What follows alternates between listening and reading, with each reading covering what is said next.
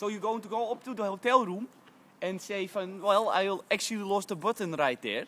I lost the button of my jacket right now. And they're going to say, yes, maybe. We'll have a look in the room. But, but, but, we also just discovered you got a Kinder Bueno from, from the minibar. And you go, no, no, no, I didn't know. I, I just told you I didn't take uh, anything from the minibar. Yes, but we just, there is a, there's a Kinder Bueno missing at the moment. so, you, you took it. I said, no, oh, I didn't, I did not take no Kinder Bueno. Well, we found the wrapper right here. We are most certainly you took a Kinder Bueno. I said, no, I don't, I don't even like chocolate, you're going to say then. And they're going to say, no, well, we actually know you, you took it, so you have to pay, pay 5 euros for the Kinder Bueno. yes, because Kinder Buenos cost 5 euros in minibars. And you say, no, when we left the hotel, you said, you, did you take anything for the minibar? I said, no, I did not take anything for the minibar. So I didn't take anything.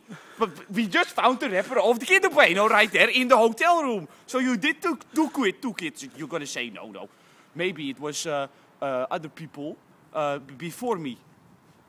It, they stayed in the hotel, and those people like chocolate, and maybe they uh, took uh, Kinder Bueno. It was not me. I did not take no Kinder Bueno.